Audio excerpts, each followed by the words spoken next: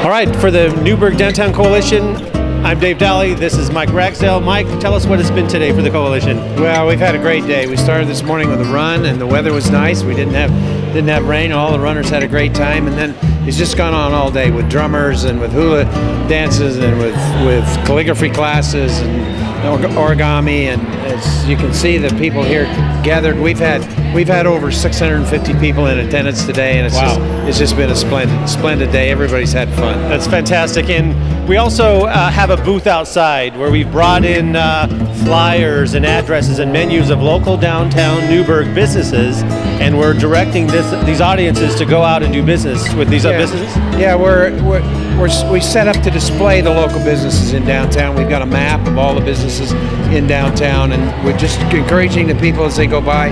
We had a drawing earlier this morning. Cancun Restaurant donated three free lunches. Wow. And people were signing up to get the free lunches. Awesome. So we promoted the downtown as well as the Camellia Festival. Fantastic.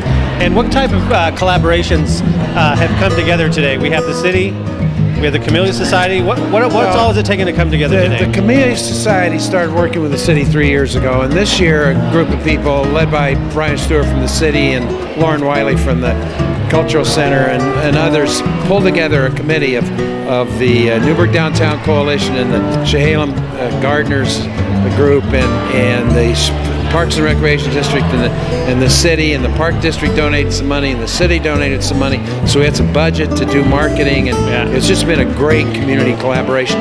And then the whole day has been really pulled off with volunteers. There must be the volunteer T-shirts. there must be uh, 75 volunteers working here today. Fantastic. Well, that's a sign. Uh, we did make a plea that we needed uh, volunteers, we needed committees uh, members, and it sounds like a group of uh, local uh, people have come together, stepped forward, made this such a great event. Well, it's what's happening in Newberg. Everything that we're doing anymore is just huge volunteer involvement, and the energy is growing and growing.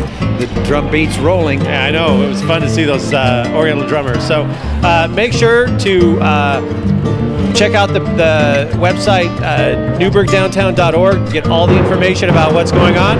And uh, we're going to go listen to some drums, Mike. Thanks. You bet.